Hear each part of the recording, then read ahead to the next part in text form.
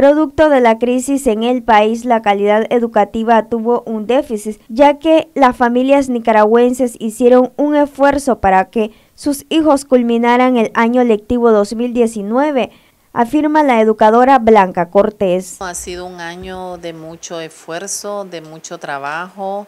Eh, creo que las familias, los estudiantes eh, han hecho grandes esfuerzos para concluir sus procesos educativos en un clima, como has dicho, de bastante irregularidades, tensiones, económicamente eh, muy afectado.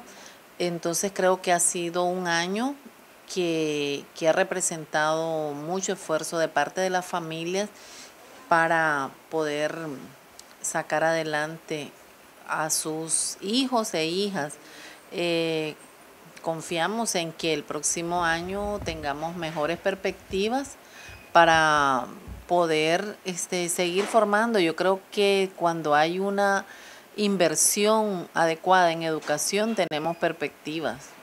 Agrega que a la educación no se le debería de reducir en el presupuesto. Cuando hay eh, tensiones y hay este, dificultades de toda índole económica, política, eh, de salud, los, los, la calidad de la educación disminuye, los estudiantes faltan a clase, este, las inasistencias no ayudan, eh, la, a veces los docentes tienen que hacer dos y tres labores paralelas para completar su presupuesto. Creo que el tema de presupuesto para educación tiene que ser reconsiderado.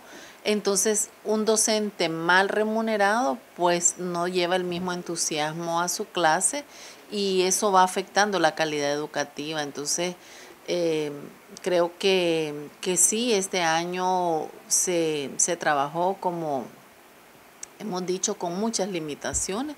El MINED en su programa de inversión pública solo recibirá para el 2020 749.5 millones de córdobas, inferior a los 917.77 millones de córdobas presupuestados a inicio del 2019.